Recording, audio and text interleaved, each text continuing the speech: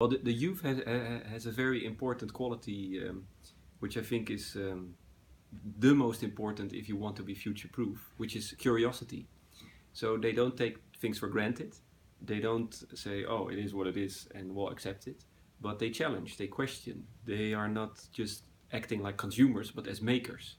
And I think this mentality, this sort of creative mentality, is becoming more and more important in the future.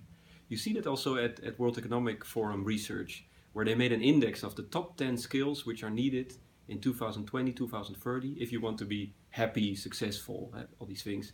And the interesting thing is these are qualities not so much uh, technology or money, but more creativity, emotional intelligence, uh, complex uh, problem solving, things which a computer or a robot is really, really bad at.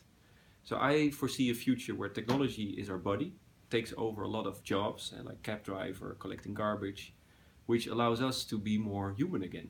And so the role of the new generation is to come up with ideas. Uh, how do we want the world to look like? Uh, not opinions, but statements, proposals.